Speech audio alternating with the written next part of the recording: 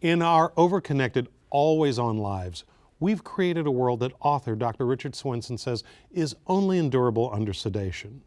In our partnership with the American Leadership Forum, Kaiser Permanente's Dr. John Chuck joins us to explain why so many of us feel stressed and burned out and what we can do about it next on Studio Sacramento.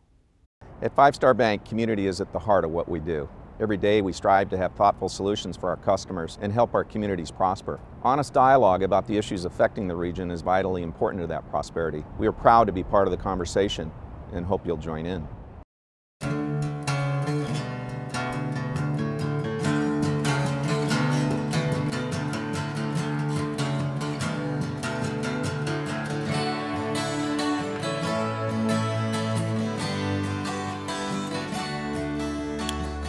Dr. Chuck, why are so many of us stressed out today?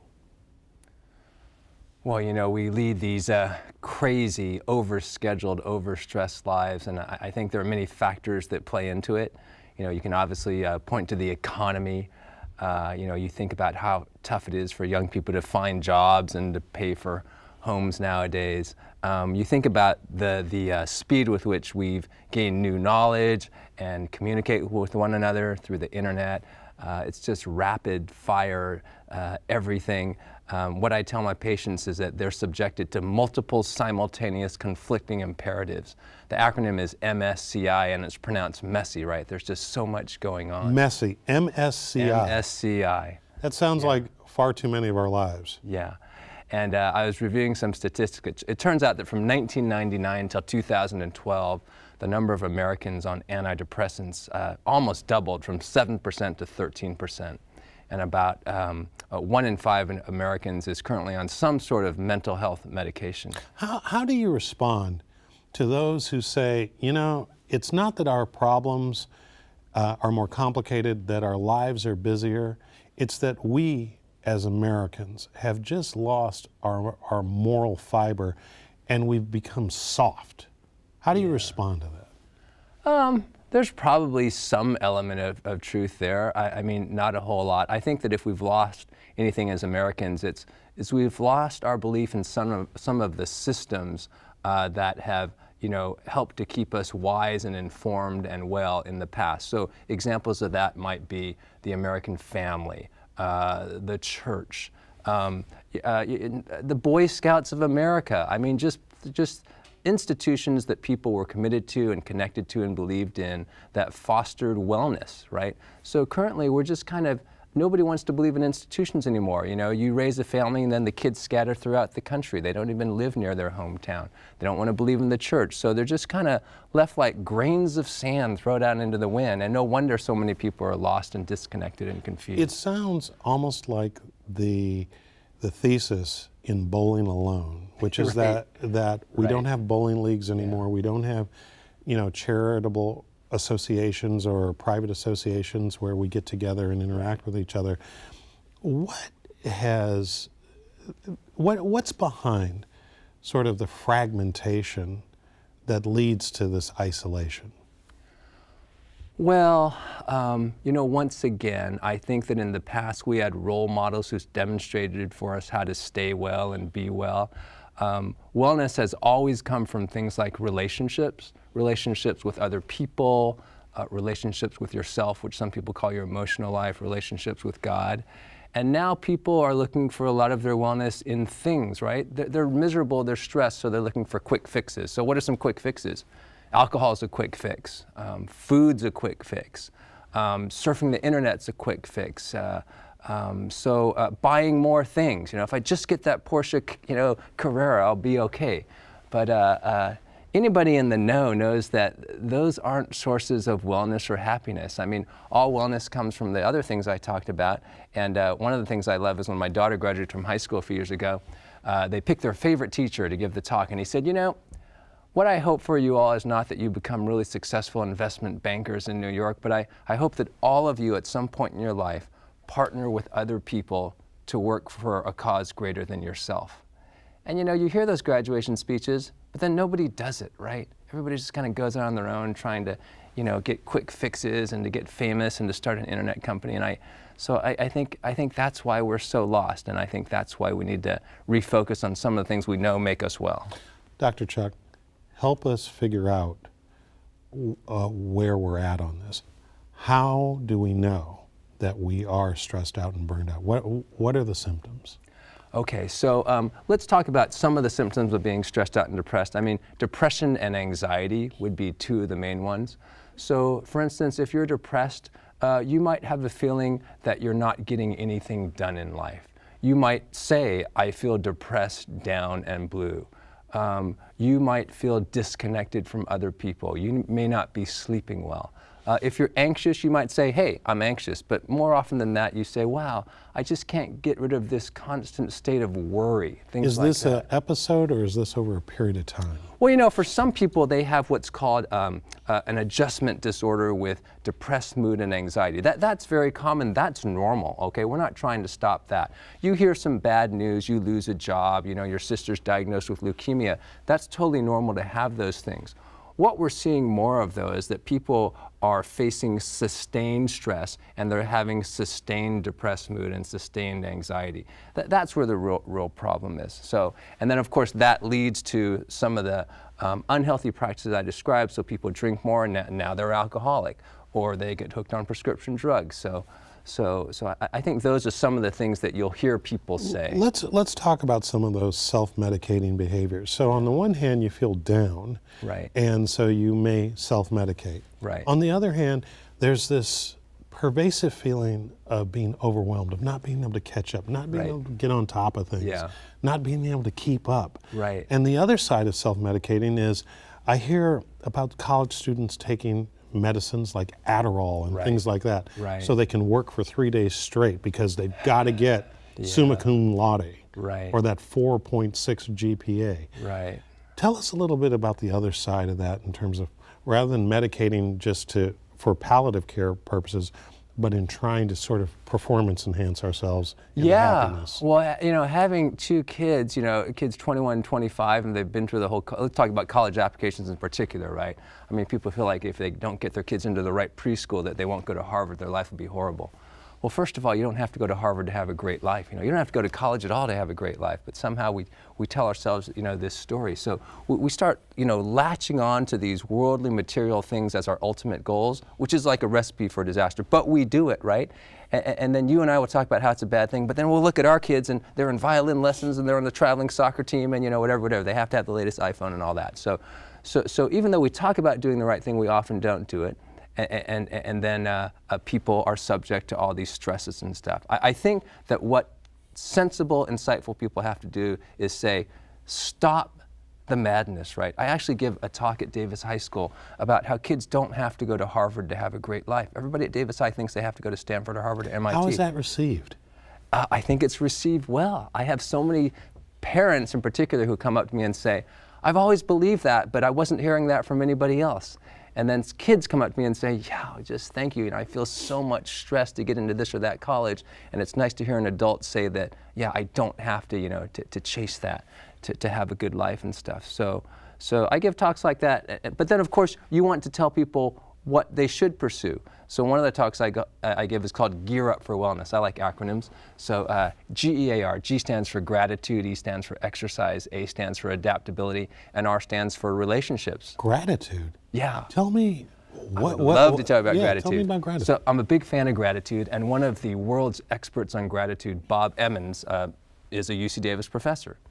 And uh, Bob did this fabulous research on patients at the UC Davis Medical Center with progressive neurologic disease, multiple sclerosis, things that should make you depressed and anxious, right? And the only intervention that Bob did was he had half of the patients do daily gratitude journaling, where the first thing they did when they woke up in the morning was they wrote down three things they were grateful for. And they couldn't be things from yesterday, right? It had to be three new things. And what he found was that in the intervention group, all the people who did 21 consecutive days or more of gratitude journaling, they had better health outcomes, they had better mood scores, and their family's perception of their wellness was higher than the control group. Oh my God, this was like an amazing finding because in the past everybody said, oh, gratitude and mindfulness, those are just soft sciences.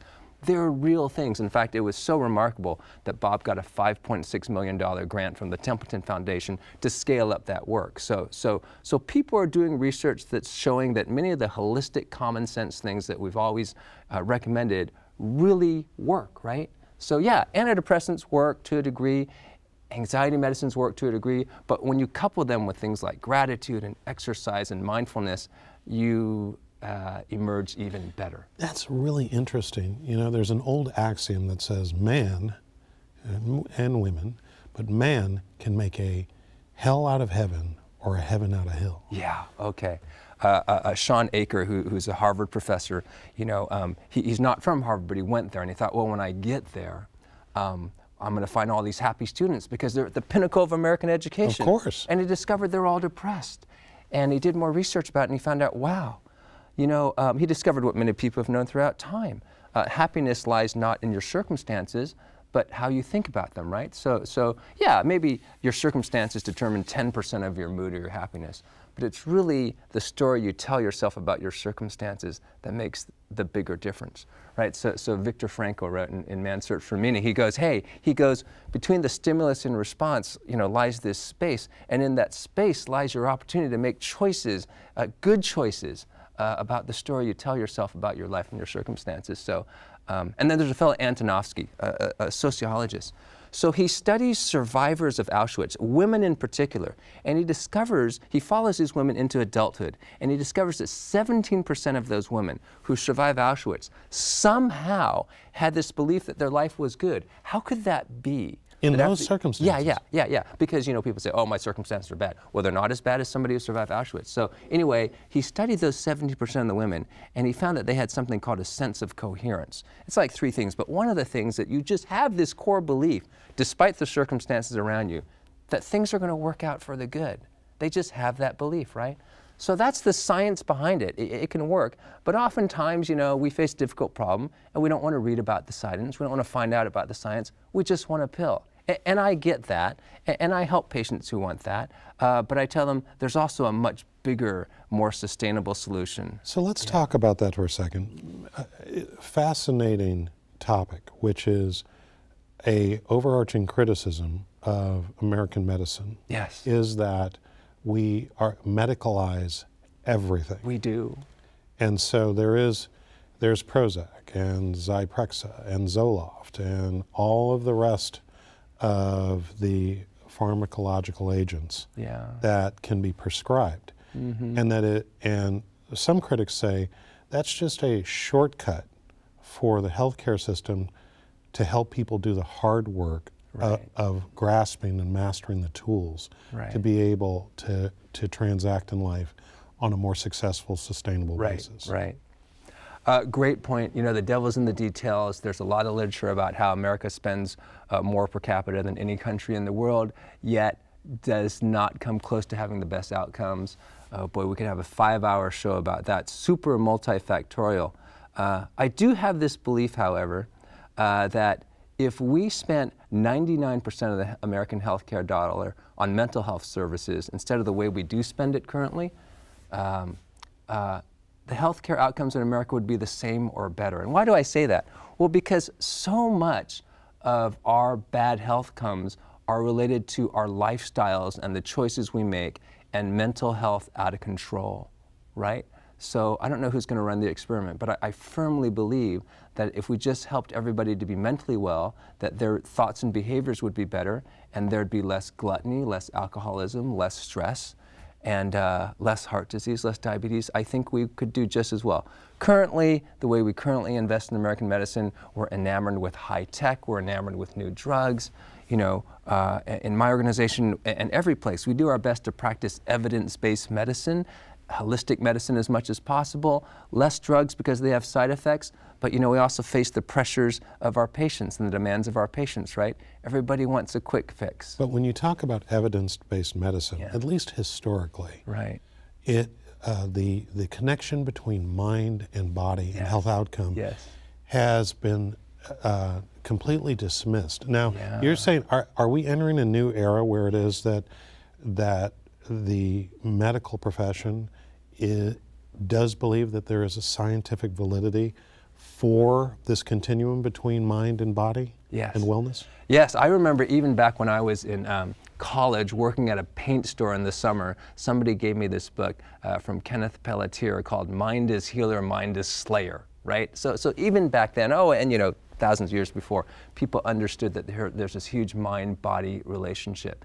And fortunately, not only are there people like Ken Pelletier and Bob Emmons, but every major medical center has a huge neuropsychiatric, neurobehavioral uh, research arm, right? And they're doing all these PET scans and seeing what lights up in the brain when people think certain things. So I think that you and I are still going to be alive to enjoy the benefits of all this great research and that we will leverage our knowledge about the, you know, the mind-body relationship to, to create a healthier world. I mean, I am very optimistic about what's happening in American medicine. We're doing a lot of things wrong, but we're doing lots of things right.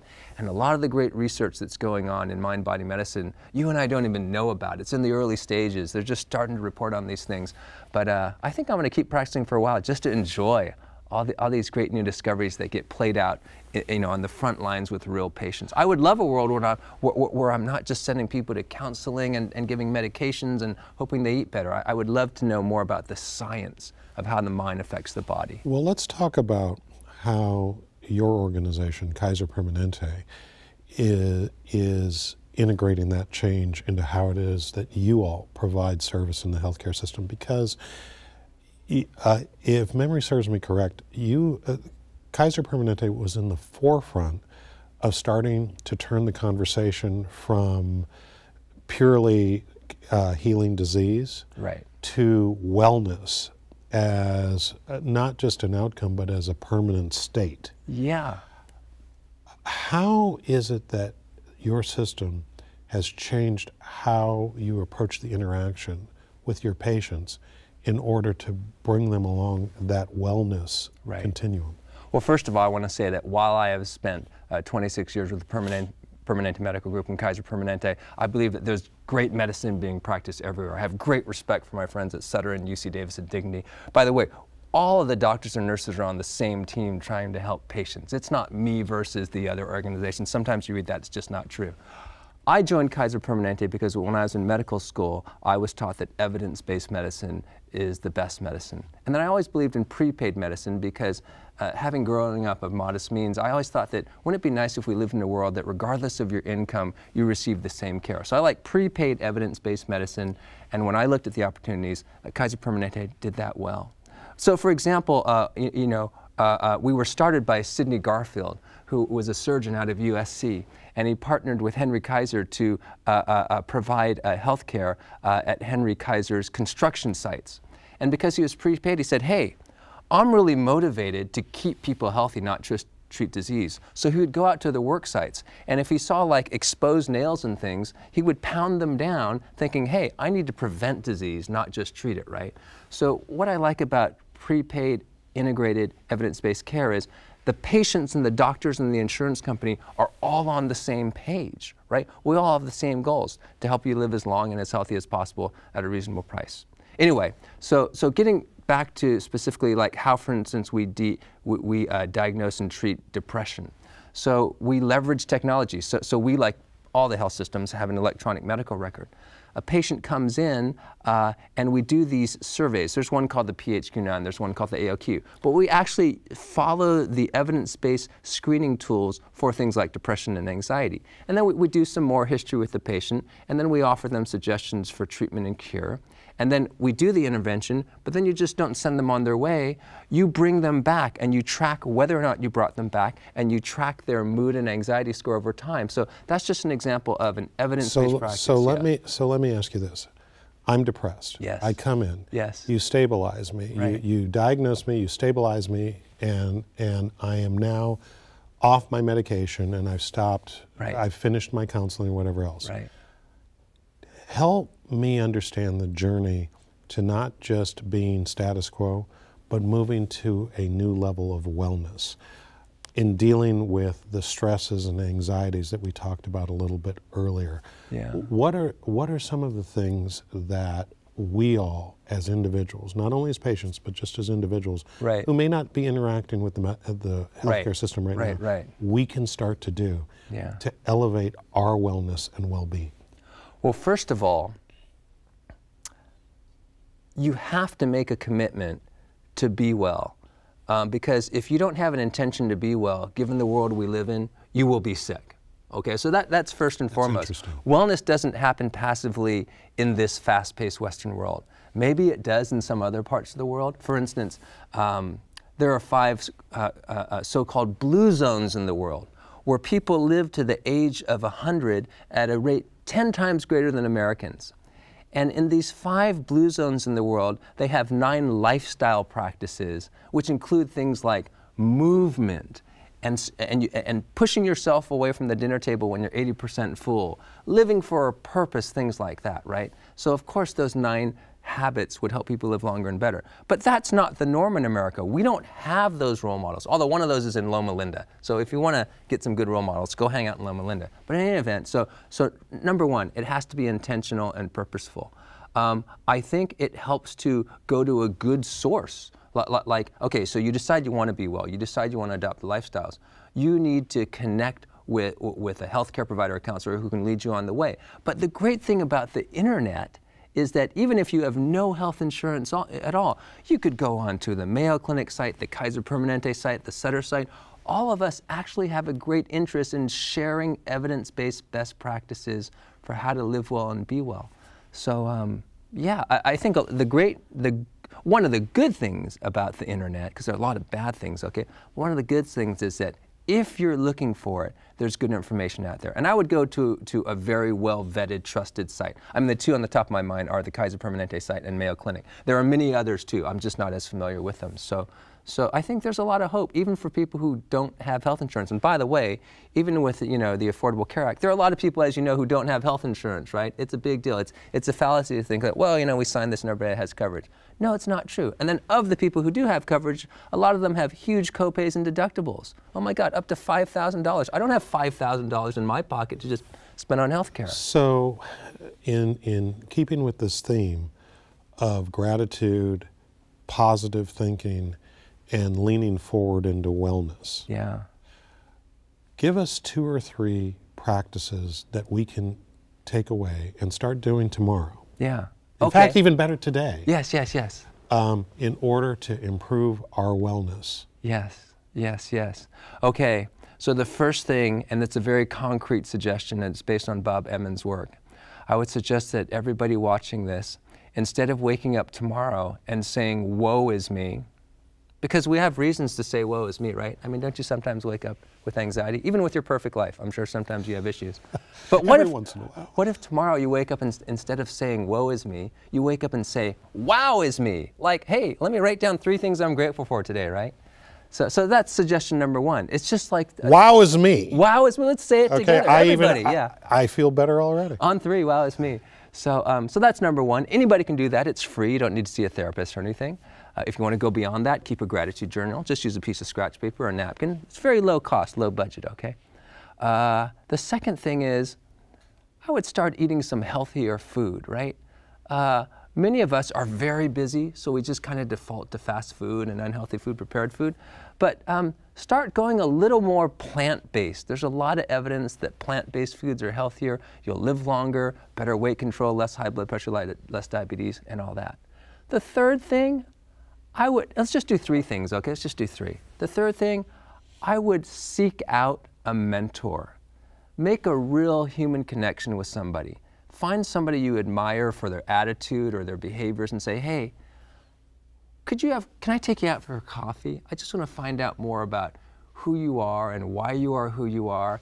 And uh, if you're so bold, you might even want to say, because I want to be more like you, right? I think people should stop building up 1,200 friends on Facebook and build up one or two good friends who you actually go for walks with and have coffee with and have, Have a real conversation Kind of like table. this. Like, you know, I never really knew you before. I'm having a great time.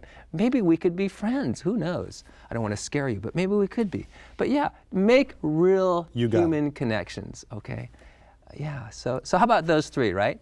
Uh, wake up with an attitude of I'm grateful, you know, wow is me. eat some healthier food, maybe lean more towards plant based, and reach out to a mentor or, or reach out to just rekindle a relationship. Because uh, even mutual relationships involve, you know, two-way mentoring.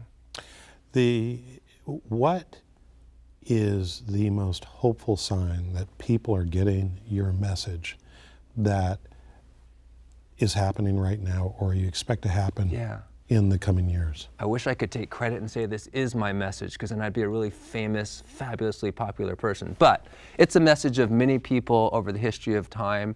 And um, uh, I don't know what the exact signs are that people are getting or not getting the message, but what I do know is that people are desperate for a message, right? People are desperate for a message. Brene Brown does a great TED talk and she talks about the power of vulnerability. It has a zillion hits. Why is that? Because so many people feel so vulnerable. And right? we're going to have to leave it there. Yeah. Thank you so much, Dr. Chuck, and best wishes for spreading the gospel of wellness. Thank you so much for having me. And that's our show. Thanks to our guest, and thanks to you for watching Studio Sacramento. I'm Scott Syphax. See you next time right here on KVIE.